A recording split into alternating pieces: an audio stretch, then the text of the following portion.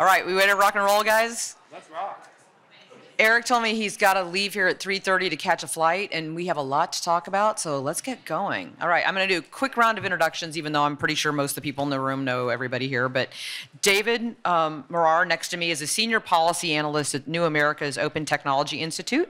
He focuses on tech privacy, platform and accountability issues, and many other things. But we're just focusing on that for the moment. Um, Professor Eric Goldman, who's over here, is at the um, Santa Clara Law University School of Law. I'd say that twice. Uh, he focuses on internet, IP, and advertising law, and I've been fortunate. Jolly, did I just get cut off? Oh, just Jolly's like, stop yelling.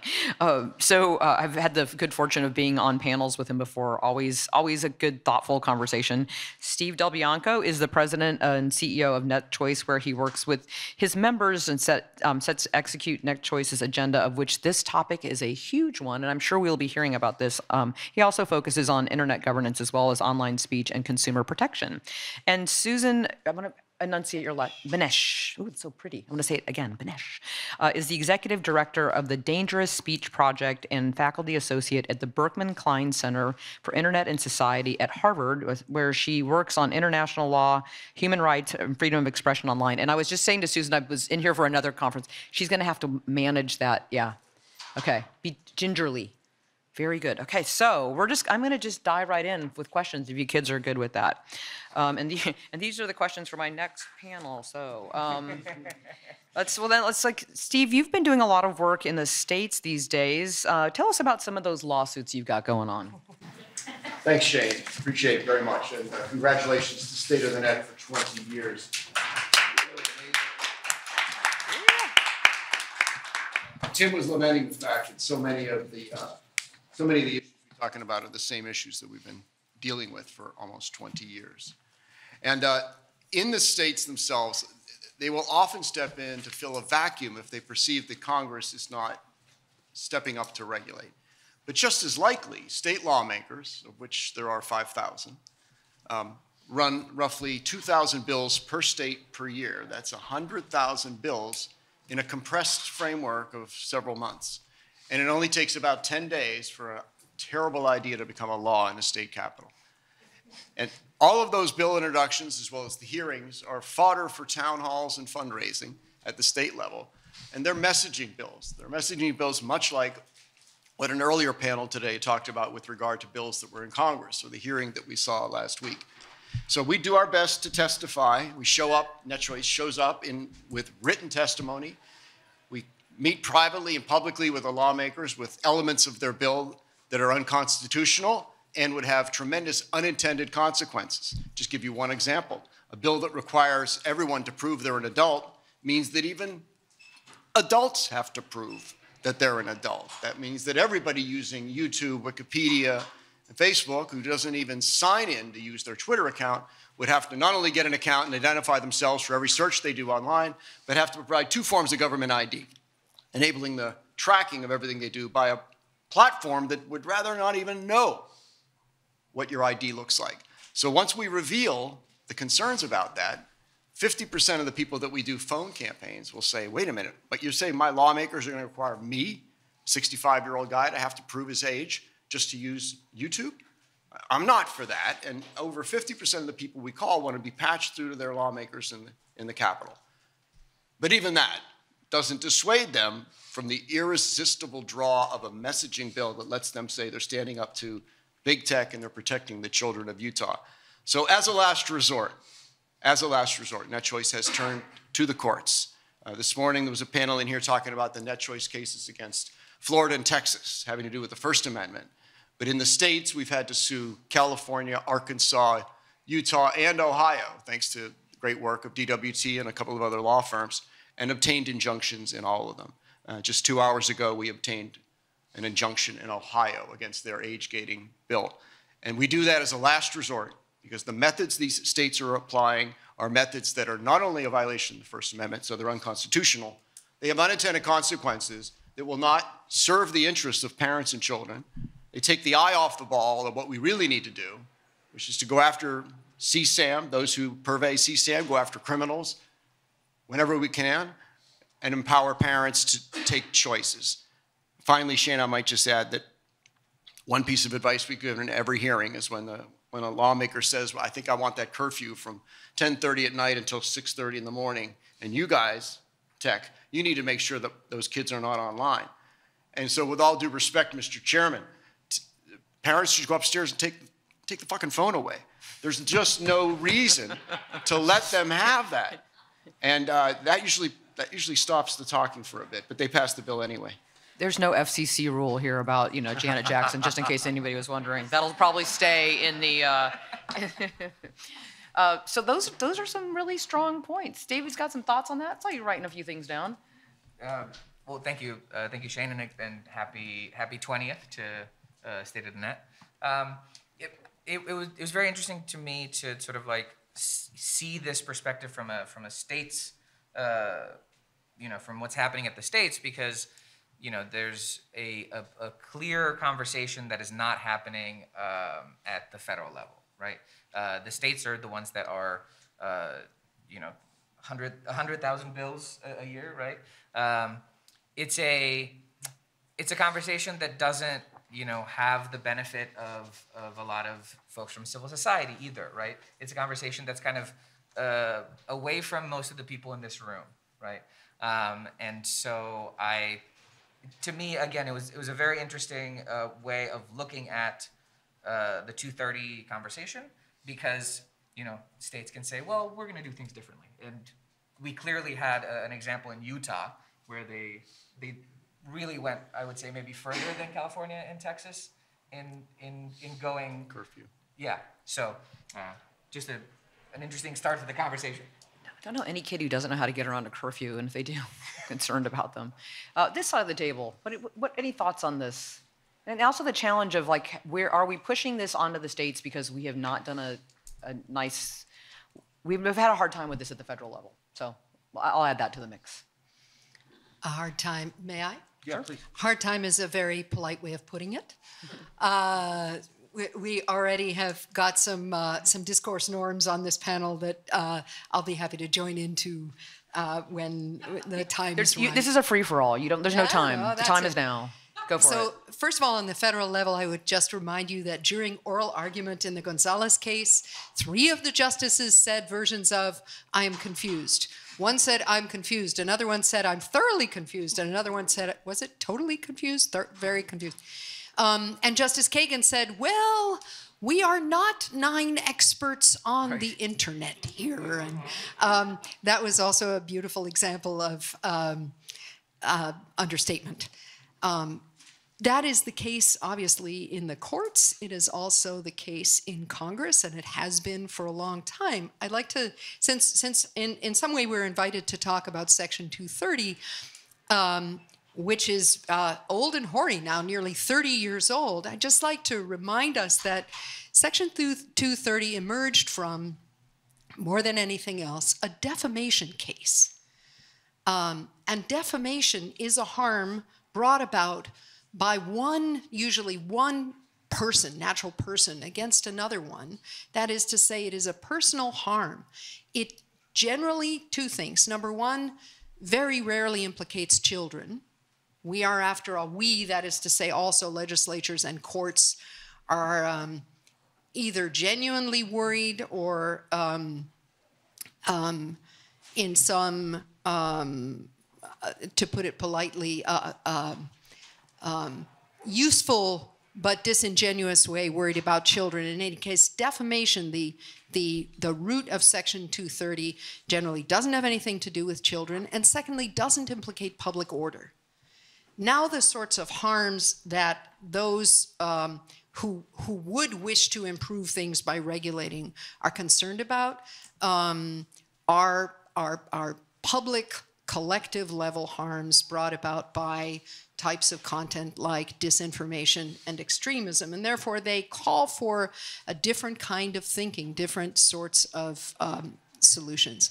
And then I wanted to quickly say one other thing, which is that this panel is about finding the balance, the balance between speech and uh, regulators or would be regulators. Um, there is one factor and one group of stakeholders who are terribly left out of efforts to find this balance in almost all cases, and those are researchers and research itself. We have heard today already so many examples of, of bills and regulatory initiatives that purport to protect children, but either wouldn't or and or also would bring about lots of other harms. Um, in most cases, um, uh, design interventions are, are, are invented and carried out by tech companies without any real knowledge of what they do, of what sort of effects they have. Um, there has to be space for rigorous research to determine what the real effects are in order to make sensible policy choices, whether you're trying to protect against defamation or against um, big collective harms. So that has to be added to this effort to find a balance. So I want to come back to the research question and just think second. I think it's a really good point. But Eric, why don't we have you comment on this? Uh, I do want to thank uh, the State of the Net organizers for putting this panel and conversation together. What a great opportunity for us to celebrate 20 years of successful policy discussions. And actually, the question you tee up is even older than State of the Net. This is a 1990s question what level of government is the appropriate one to regulate the internet? And really, you could summarize it in four ways. You could say international regulation, national regulation, state or local regulation, and then the, what we discussed back in the 1990s was some form of internet specific regulation or self-regulation. Um, there this is not a new question. This is baked into our Constitution, this allocation of responsibility between national and state um, uh, regulation. But the internet is different than the questions that they were trying to answer back in the 1780s um, the question that's on the table today is can a state run an experiment in this laboratory of experimentation at the state level without affecting any other state? And the short answer now, today, even with all the technology we have, is probably not. The only way to do that differently would be to impose geographic authentication requirements, which themselves would create many privacy and cost implications, probably not constitutional. So if we don't do that, then the, the question is what, how can a state launch an experiment um, in this laboratory experimentation, federalism at its heart, let the local conditions dictate what local solutions are best. None of that makes sense for the internet. Like it just, it's like apples and oranges. And so we're seeing what it looks like when the states unleash the beast. What it looks like is they pass messaging laws that were never designed to actually be good policy and then, and I use this metaphor in my blog, the dog catches the car, and then we take it to court. And guess what happens? The dog doesn't fare very well. So they're going to keep yapping, but they're not actually solving any problem. They're only creating them. Shane, there's a follow up to that that you'll be amazed at is that uh, as a consequence of the court injunctions that NetChoice obtained, the states have gone another way, and Professor Goldman calls it the bounty hunter approach. So Utah, having gone back to the drawing board, has decided that the way to get around constitutional limits on such as the First Amendment, and Susan, none of these bills had anything to do with 230. None of these lawsuits had anything to do with 230. It's all about First Amendment. So they've decided they're going to copy the Texas abortion law and simply empower the plaintiff's bar to bring causes of action okay, with $10,000 minimum damages per violation. So the new bill in Utah is, as Eric says, a bounty hunter bill, and it's already being copied in other states, and I predict it's going to be in several more states before the end of the spring terms of state legislatures.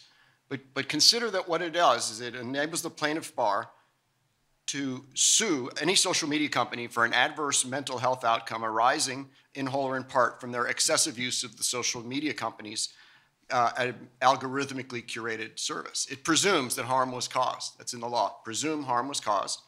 Presume that the use was excessive, unless the platform shows it does things. It limits any minor, which is under 18, from using social media for more than three hours in any 24 hour period across all platforms and devices. Eric, you, when you catch that car, how are you going to implement that? I would wonder. Restrict the minor. Anybody under 18 cannot be on a social media between the hours of 10:30 p.m. and 6:30 a.m. A parent or guardian has to consent to a minor's use. You have to disable any engagement-driven design for showing content that I like to see because my friends like to see it. And you have to put content, this is the best, you have to display any feed in the order in which it was posted, rather than using any algorithm.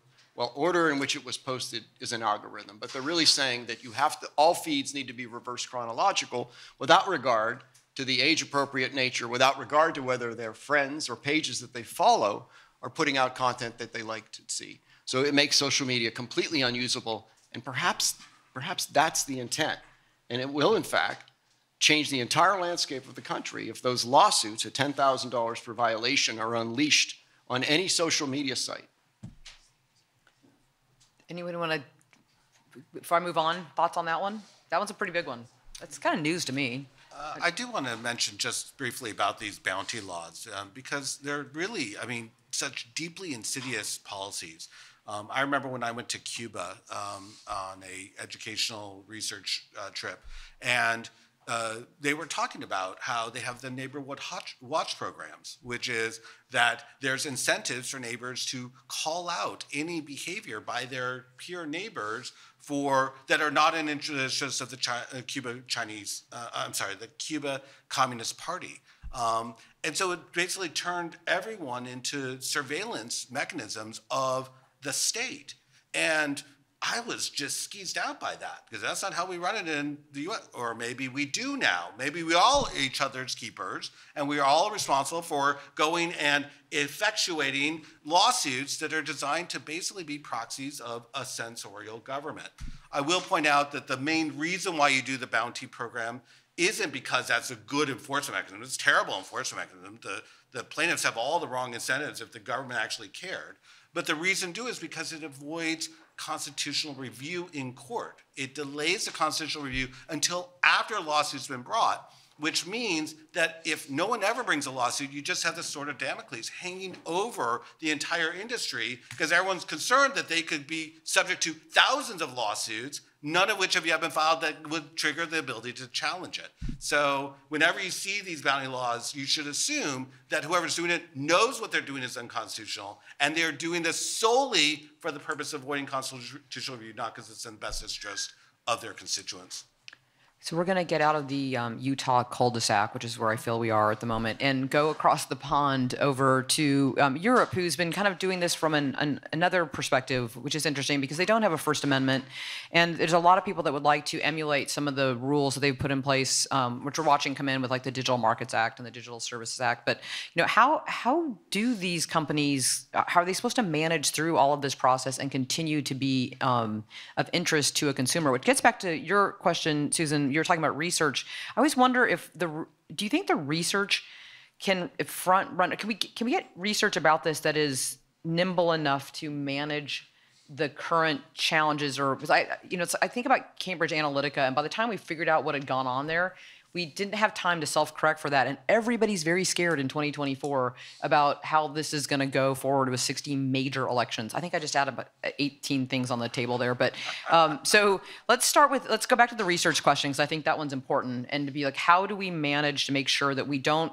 put enough information flow here that we can come back with some maybe more sage and sane thoughts as we try to decide what to do with this um, industry which people seem to really love. They, they like using it that's right. So that you you did indeed pack an awful lot into one question, including several suggestions about what's what could go wrong with research. One, it takes time. Yeah. Um, that's true, but that's not a reason to do. No, it. I, I guess my Uh, I love the research. I just wish I I really like. I'm like I wish we'd known that faster, and that's hard sometimes to do and have very good, thorough research. So you brought when you brought it up, that's what I was Well, thinking. But the the sooner you start it, that's true. under the right conditions, with the right um, uh, the right constraints to protect user privacy, to publish um, in peer-reviewed academic journals rather than to keep the results secret inside companies, as is virtually always the case when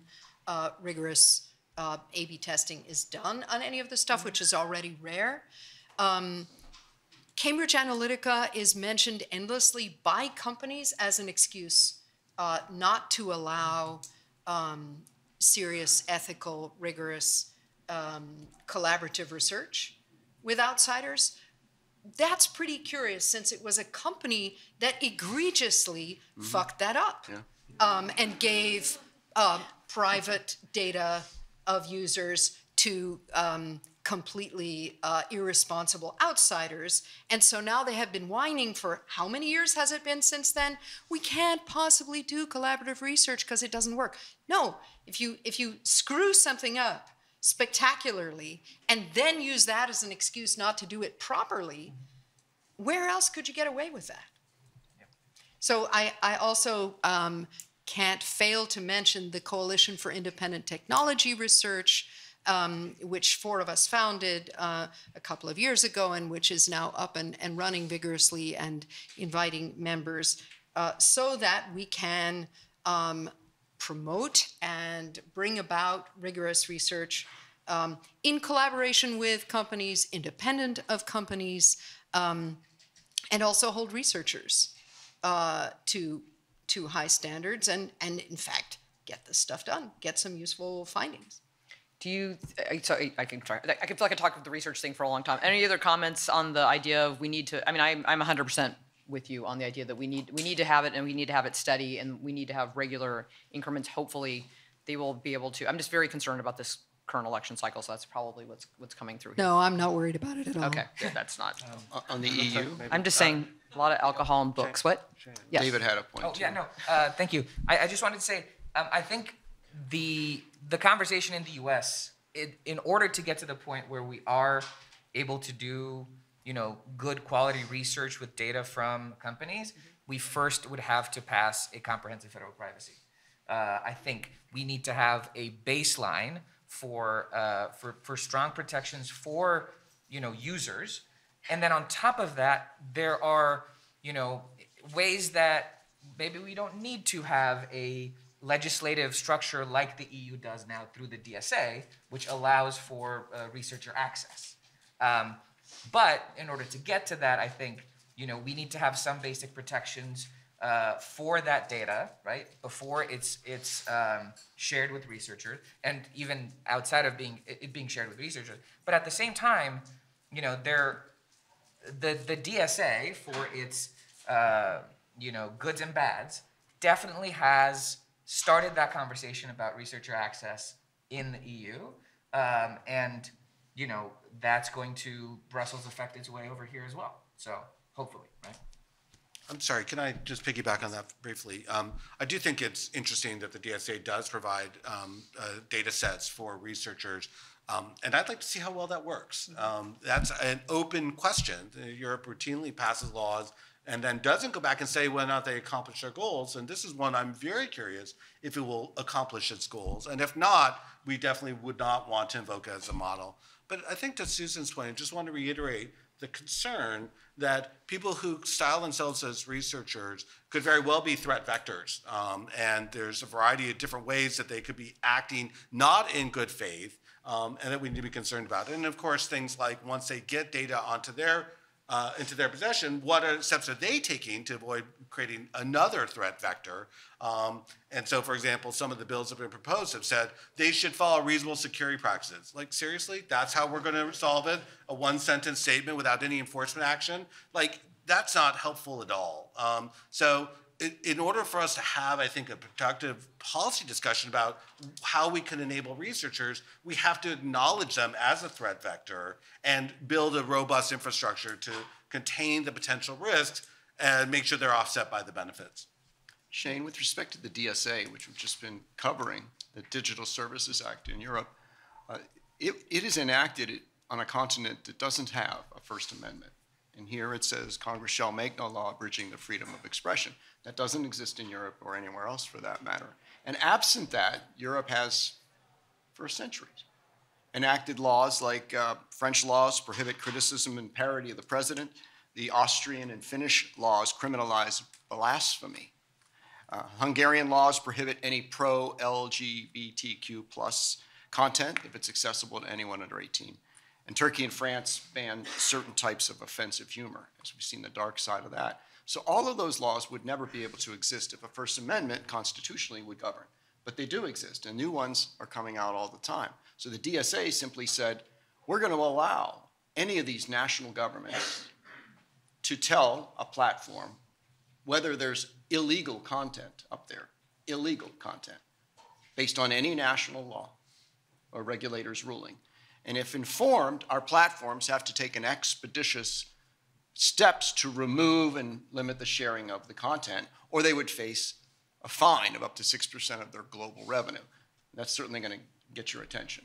And the, the platforms are all trying to figure out how to handle that. But the good news is the platforms are not liable if, having been noticed of unlawful content, they take it down. Many of NetChoice members have said, well, the US, uh, give that a try. Draw a nice bright line between what is illegal and what is not legal, because only two forms of speech are illegal in the United States child sexual abuse material and credible threats of proximal physical harm. And outside of that, everything else is lawful.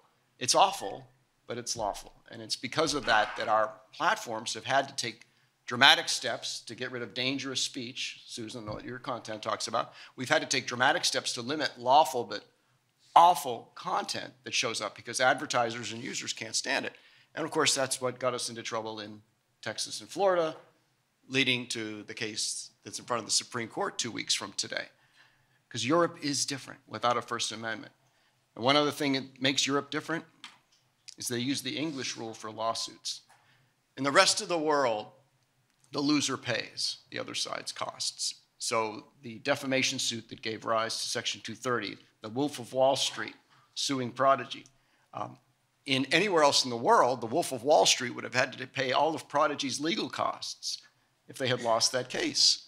Well, that's not happening in the United States. In the United States, the plaintiff's bar can just uh, promise enough money to the potential victims that they can finance a suit, bring the suit, and if they lose, they walk away and they file a suit against someone else.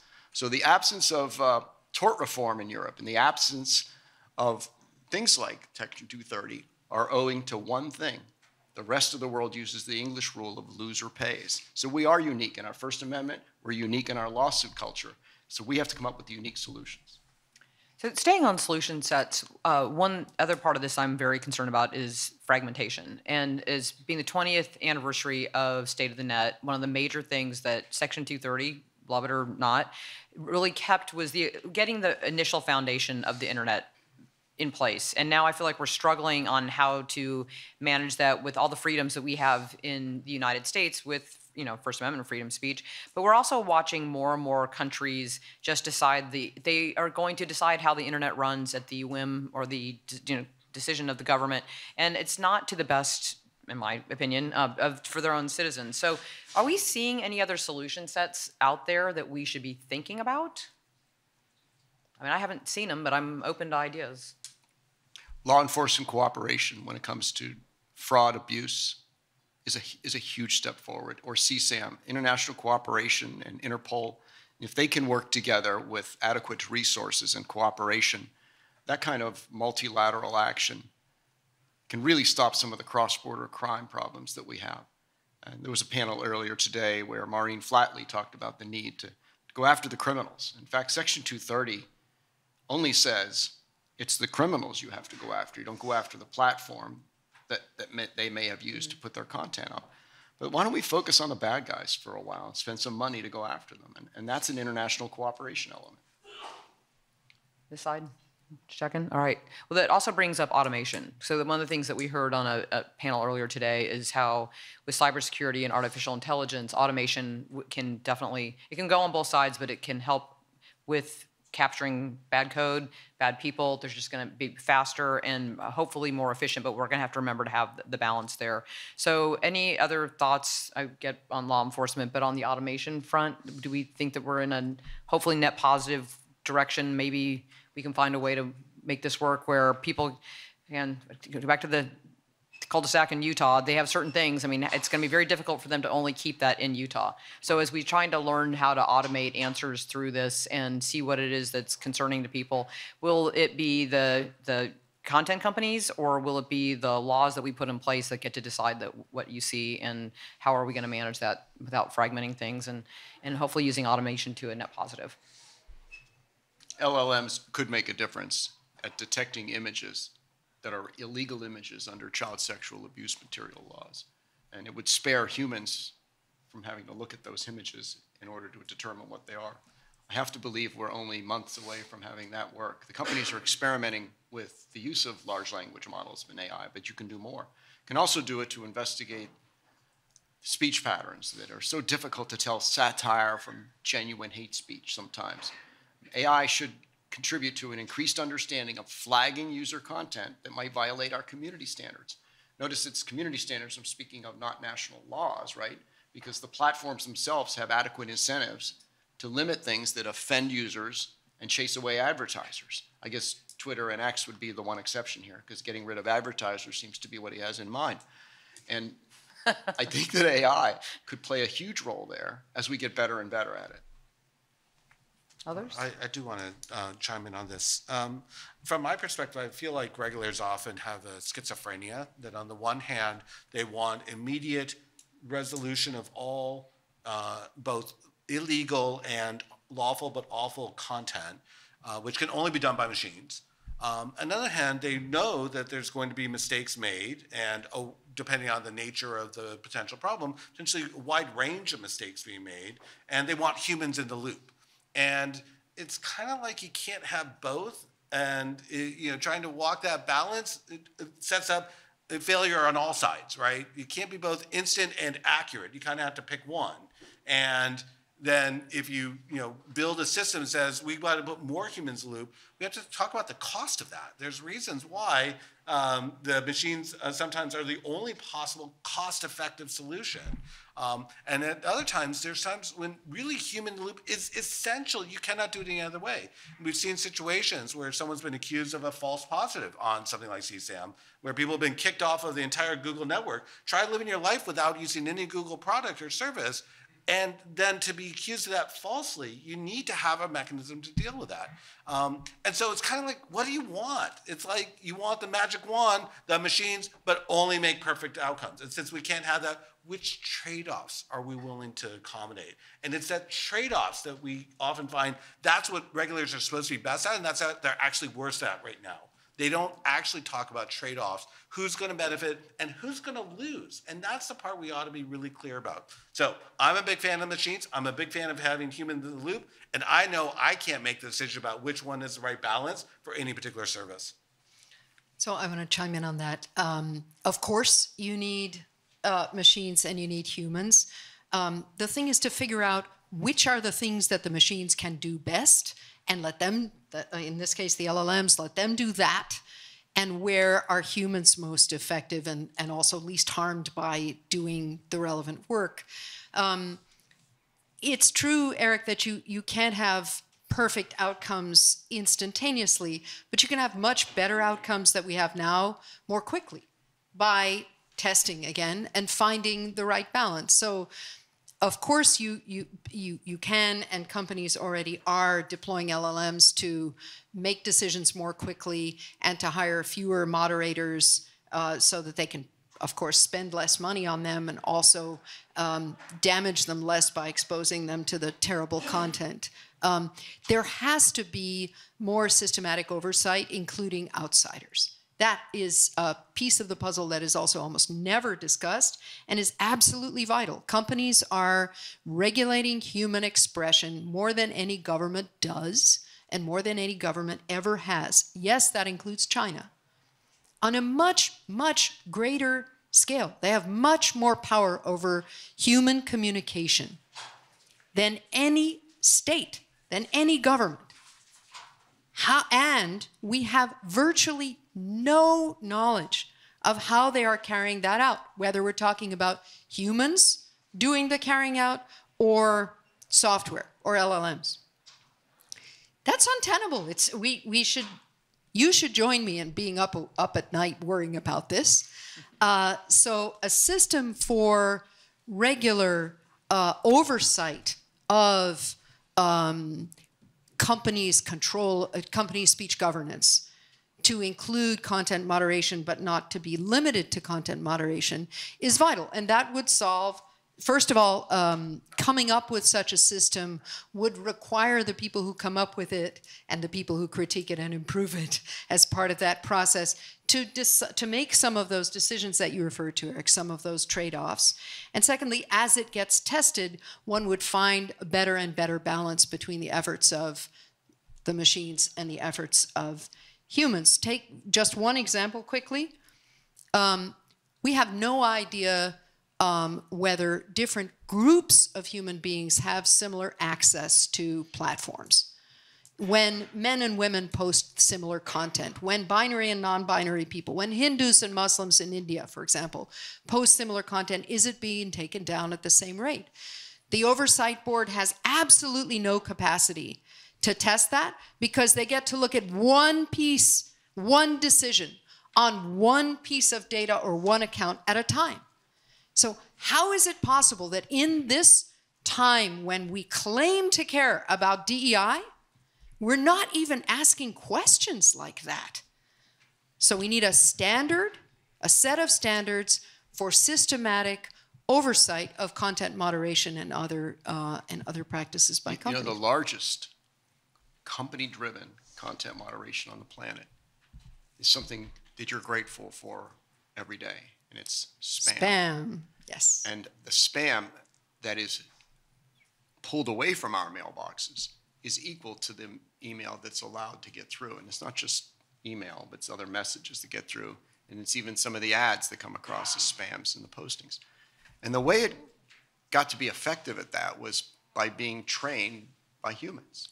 Every time we would categorize something as spam, uh, that teaches the machine to recognize spam in that cultural context. Um, also, the companies themselves are beginning to employ artificial intelligence like LLMs to discover ways to block spam. And, and that is effective, but not as effective as it could be. But I can tell you how it would be ineffective is for somebody to take a clever cleaver to Section 230. Because stopping spam messages invites lawsuits from that business whose business messages are not making their way through. Without Section 230C2, the lawsuits begin and then they never end. Because part of what we benefit from is trying to limit the amount of information that is lawful but awful. I'm not saying that every spam message is inherently fraud, fraudulent. It's just something that the platforms and the ISPs think that their users would prefer to do without. They know that their advertisers don't want to show up next to that. So some of the content suppression, you can study it, but it's extremely, Susan, challenging to study that since that, that user, uh, that machine learning that goes on for spam, it's changing every nanosecond based on the experiences of new forms of spam and which, what users are categorizing as spam. David, go ahead. Uh, you wanted to respond? Uh, just just one sentence. It, it doesn't. Um, it's great that you bring up this example, which generally doesn't make it into policy conversations, in part because um, almost everybody uh, approximately agrees on what is spam and hates it.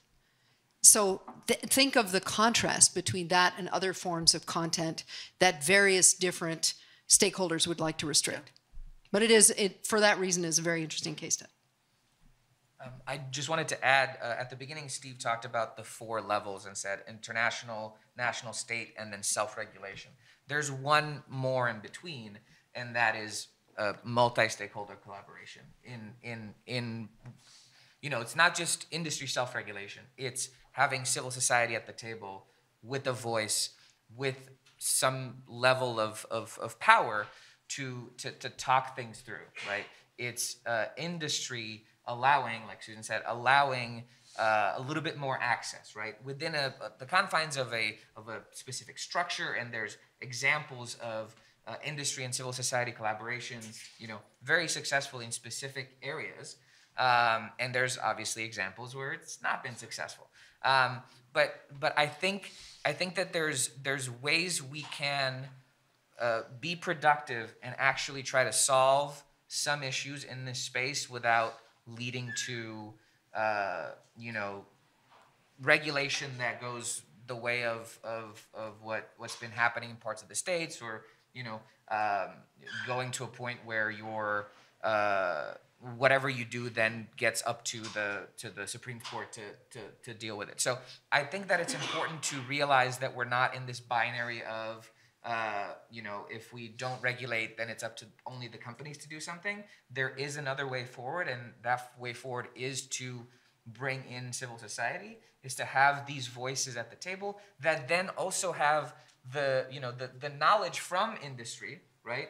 Uh, that says, hey, here's how generally how our algorithms work, right? You can have it at the level of the industry, you can have it at at you know company level, um, and you know the the Facebook or the Meta Oversight Board is an interesting example, but it's not built for that, right? It's built for a, um, sort of like a, uh, judge and jury kind of perspective on specific uh, pieces. But there are ways to do this, and I think we can be hopeful, even though there's a lot of harm on the internet.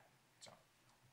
You know, Shane, for 20 years, we've worked together at the Internet Governance Forum, at ICANN and other multi-stakeholder bodies where civil society business community, and governments occupy the same space. And ICANN might be the exception because it is very much uh, non-governmental controlled.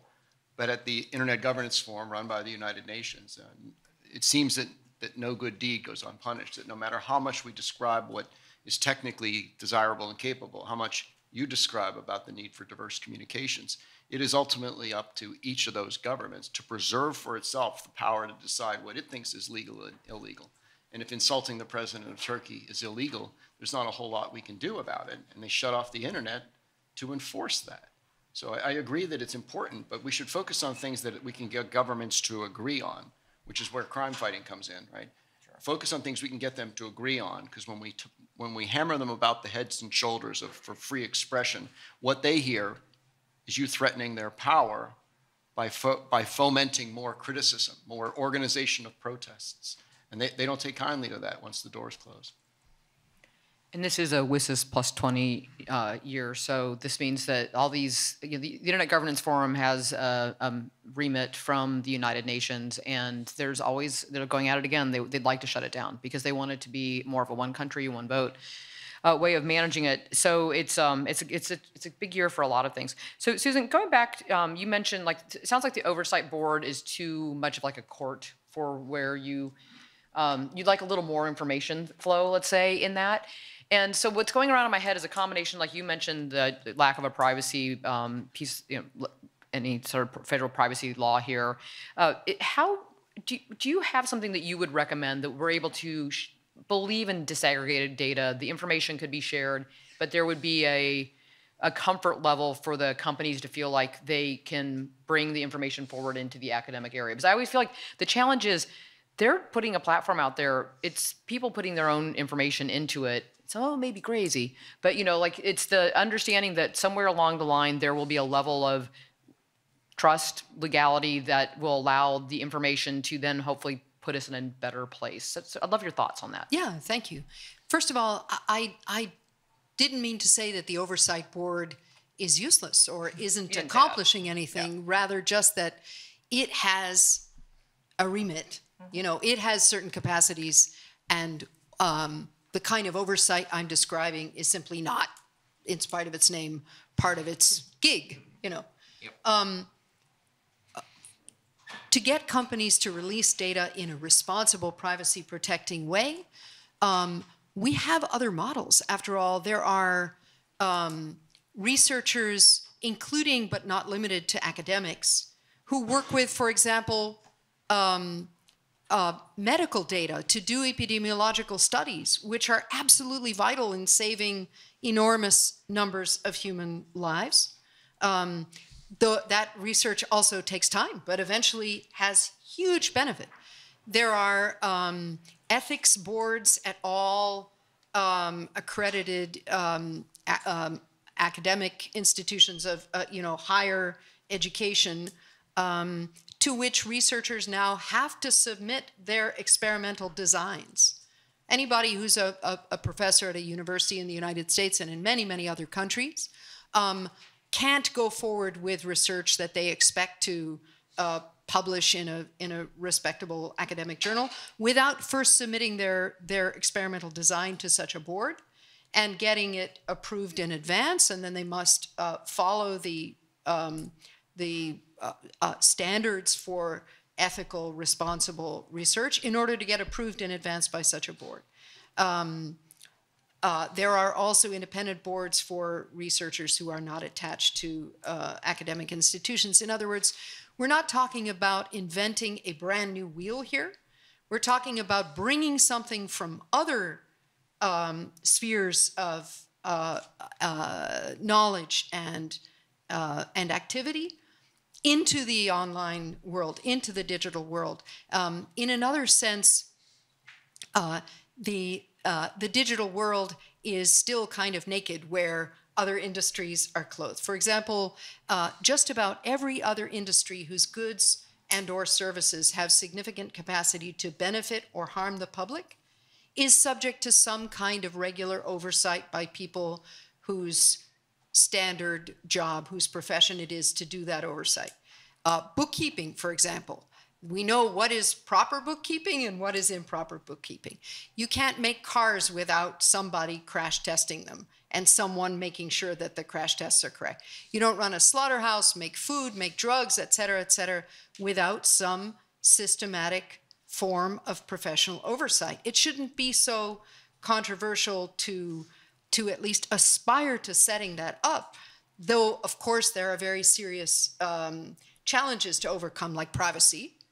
Um, it's not at all insurmountable, and the potential benefit is enormous. I really went in on those data sets, so I, can, I appreciate that. But I also love that we can do snap polls when it comes to you know things that we want. We can find out right away, but things that need to be responsible for some reason take way too much time. So it's 3:17. We're getting you out of here at 3:30. All right. We've got you know we've got 13 minutes worth of questions, and I have a feeling this front row right here would love to start. Jess, do you want to start? All right. I'm the one that normally does the poll calling. Okay. Well, good because you're you got you got that makes it much easier. Right.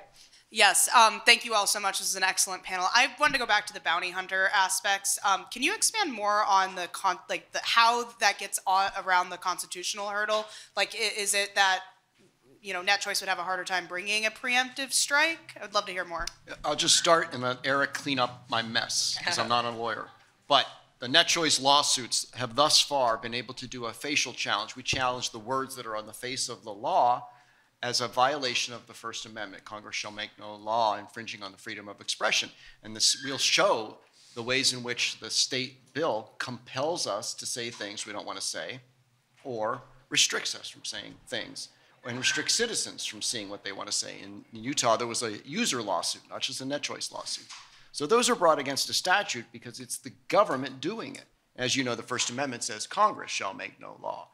But it allows this place to kick you out for using bad language, sorry. It allows a restaurant to kick you out if they don't like the way you're dressed or the way you're speaking. So private parties are not affected by First Amendment restrictions. So I'll turn it over to Eric. So I can't, NetChoice can't likely sue Utah for the bounty hunter bill any more than a lot of other concerned women's groups could sue Texas over their abortion bounty hunter bill. The Supreme Court took a look at it and allowed it to stand. But Eric, absent a constitutional challenge, if the law were used to sue a company, does the company make constitutional arguments in its defense?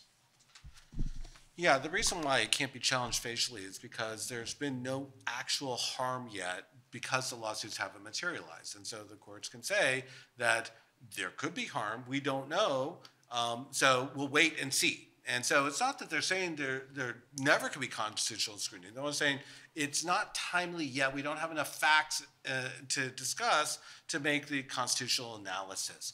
Um, to me, that's that's illogical. If we know that they've created a claim, we know that that companies or individuals will seek to minimize their risk under that claim. Then there, we know that the, the the existence of the claim will create enough change in behavior that it should be evaluated under constitutional standard whether or not that's permissible. But that's not what our court has said yet, and I hope that someday we'll fix that. That to me is a hole that is being abused by regulators, knowing that they can play this game.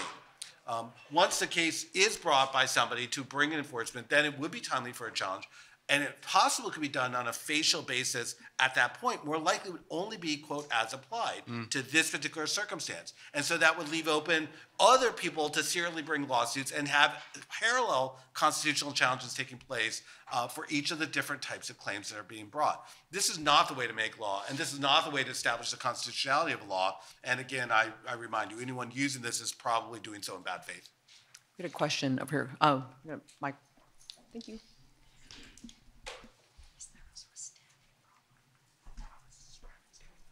If you can introduce yourself. Yes, sir. Uh, my name is Lorelei Kelly. I lead the Modernizing Congress portfolio at Georgetown. So, but I have been working with the Reform Committee in the House for the last six years. So, my question: so the the awful lawful chickens are coming home to roost right now in Congress, um, and they're experiencing members are experiencing 300% more death threats. One of the reasons these really good members are retiring is they're just done with it, not worth it. I do a lot of field research in member offices members, there's just a constitutional wasteland in between these old, like archaic models of the right to petition, um, which now means you protest on the mall or you hire a really expensive lobbyist. It's either purchased access or protest. Like Congress is so derelict in its ability to handle uh, the modern world or have any situational awareness until recently, and it took a pandemic to get Congress to get on Zoom and to create a bunch of electronic workflow. My um, my hopeful path forward with this um, is just that I think there's probably a different way for Congress to legislate on this because they're going to have to start using this technology in their own workflow uh, to recreate norms which have been obliterated, and they're seeing the absolute downside of what they've created. The, the monster, Frankenstein baby with uh, AR 15, literally is what freedom of speech looks like right now. And with an institution that does not have a continuity of government plan, um, which is stuck in this conversation about January 6th, so it's not moving on to all of these other issues. I would just argue there's a new crop of, of lawmakers right now that understand this crisis in a very personal way that might be really an important way to jumpstart something productive. Does that make sense? You're speaking of uh, federal lawmakers, a new crop? U.S. Congress, yeah. Well, I hope, House you're, and I hope Senate. you're right. Well, nobody's organizing it like this. Like No. it still comes in. People advise Congress. It's the most advised body on the planet, but it's always read this white paper, not use this uh, new technology in a new way that makes sense for you. And uh, there's hearings every week, and they're nerdy. They're House admin and House clerk, but they're rebuilding the information architecture of democracy right now. and you're saying they're doing it, Lorelei, with a personal experience of using the tools. So Some of them, it's them definitely an age dependent. You've got, like, it's still the average age of members Mm-hmm. is what, 60, maybe a little younger in the House. But you've got this crop of younger generation who are brand ambassadors for this conversation. It's not strange for Yeah, them. and, and some of them will start to use, Right. use social media, and, and they may notice that Yeah. they get a lot of these threatening messages, maybe not even directed at them, but directed at others. Yeah, I was at a meeting with, on, on continuity just two weeks ago with Democrats and Republicans across the board. Yeah. board. So they're all seeing it. And uh, there's a mistaken notion that the social media firms uh, have some algorithm that assesses the content of a threat and rates it on, ooh, how enraging might this be? If it, if it rates highly, let's share it a lot. And you have to understand, and Susan, I hope your research will help you confirm this, that isn't what happens. The, the sharing algorithms are based on things that your friends, people that you have followed and liked, what are they looking at and sharing? And so it's based on association. Oh, wait, that's another First Amendment protection. Congress shall make no law abridging the freedom of association. So people associate with their crowds and pages on Facebook and X and YouTube, and that is why they see more stuff that maybe takes them down a rabbit hole. But the companies do not rate content for its enragement potential. They simply share content that is engaging with the people you have engaged with, right? So given that, uh, our lawmakers, hopefully Lorelei, are going to see that the crowds that they are engaged with and the people that follow them are sharing things that are really inappropriate. I don't know what they're going to do about that in a country that is governed by the First Amendment. Do you, uh, do you have any suggestions? I think what's obvious to members of Congress is that we're letting the Second Amendment kill the First Amendment. um, the through line of violence as speech is the problem right now. And I mean, I'm from rural America. I saw the uh, people circling in the parking lot. If you have family members who are election administrators or volunteers, they're all having to learn duck and cover and tourniquets for 2024 election. Like, nobody wants to talk about it because it's ugly and unfortunate, and we let it happen. Um, but I do think that it's a way that brings this crisis of what do we do with this uh, First Amendment? I mean, part of it is like it, the first branch of government is the largest publishing entity in the world, probably right now among them. All of the memory of democracy is in it. All of the uh, agency, uh, every member of Congress is a publisher. Um, but it's not organized in a way that is competitive on behalf of public goods and norms. And I think that is what's changing. It can actually be a player for the good stuff. And I, I don't hear anybody talk about this anymore, I think, because everyone's given up on it. Um, but it's really a possible pivot right now. So I'm just saying that that's hopeful, deserves to be talked So, about. so actually, I think it's a great metaphor for what we've been discussing today, because on the one hand, there may be people who are gaming the system, playing in this lawful but awful space in ways that we would want to have some kind of brakes put on them. And others are just committing illegal acts that are clearly illegal, and that there may be inadequate enforcement of the law to, to punish those people who are making the death threats. Literally, I think we don't have a law enforcement infrastructure that could handle all of the people who are making things that are clearly illegal, not just free speech, but literally crossing that line. And so, what do we do about pouring adequate resources into an enforcement effort? What do we do about insulating the um, uh, the the members from this this lawful but awful torrent? And what do we do to change the discourse among our politicians? Because some of our politicians are encouraging that kind of behavior and are not punishing their colleagues for engaging in that behavior. And unsurprisingly, the American people take their signals from their leaders. So this is a super complicated problem. It's a metaphor for everything we're discussing. There will be no single fix. But what I heard from you is maybe we need more criminal enforcement on this behavior, and I would support that. I was also reading the uh, Economist this past week has an article about people are actually getting back into smaller groups. It's it's more WhatsApp chats, some iteration of that signal. So it's going to be harder to you know manage the conversation the way people want the platforms to manage it because they're not taking place. I realize that WhatsApp's also in a meta product, but um, you know it it's the dynamic has changed and they're getting away from the bigger conversations back into the groups and then you just have circular intelligence, which is very scary. All right, we have time for one more question, and then I'm going to kick Eric out.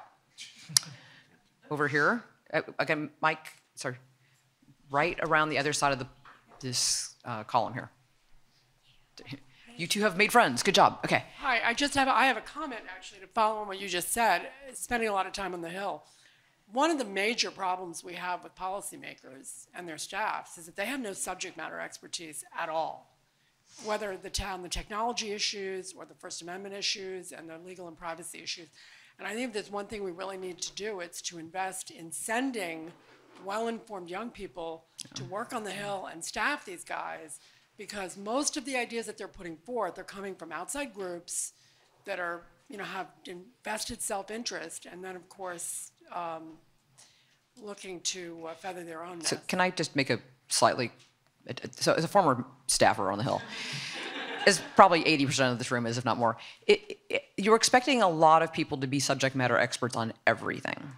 And that is, it's, I mean, you, you go in and, the, and you expect them to be agriculture, uh, defense probes, blah, blah, blah, blah, blah. So understand, I just, for, understand that everyone's trying, and I, I get your point. Your point is we need to have a better, you know, level of information at all areas, but it's not because they're not informed. It's that they're they're dealing with a lot. I spend a lot of time on the Hill, and I just would, uh, to clarify, at least on the committees of jurisdiction, because when I debriefed the Senate Judiciary staffers last week after the hearing, it was mind-boggling. because we're asking them to do a tremendous amount and not very well paid for it. Um, you had a comment. I just wanted to say there's there's great programs that are trying to deal with that. Uh, within New America, there's a, a program called Tech Congress, which is which is setting up offices on uh, both Democratic and Republican with with great people that have a lot of that expertise.